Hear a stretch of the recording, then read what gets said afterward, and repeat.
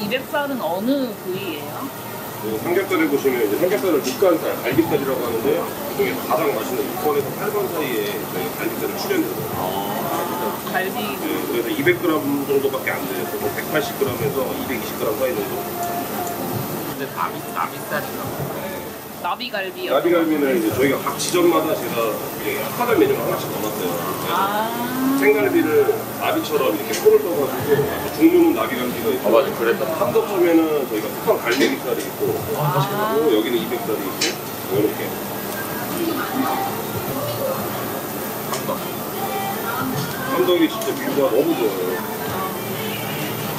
숙성이 잘된 등심이에요. 일반적으로 하시는 돈가스 에 있는 등심이에요. 조금만 살짝 찍어서 해드렸어요. 그리고 목살인데 육즙이 엄청 많거든요. 처음에도 그 등심하고 같은 살코기라서 얘는 약간 고소한 육즙이 달라요. 육향이를 있고.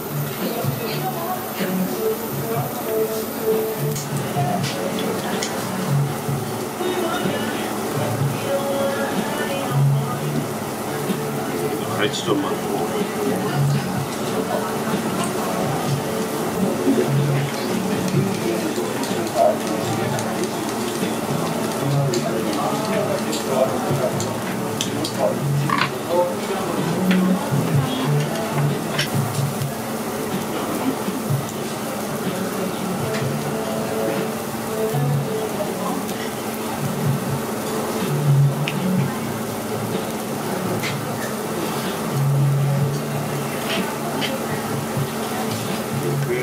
와사비 올려서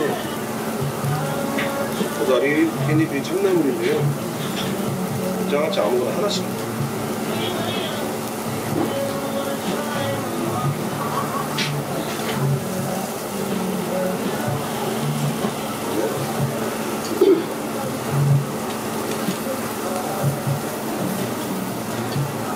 이런 식으로 드시고 계세요. 가운데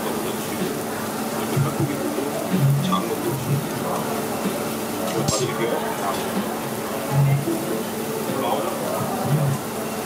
나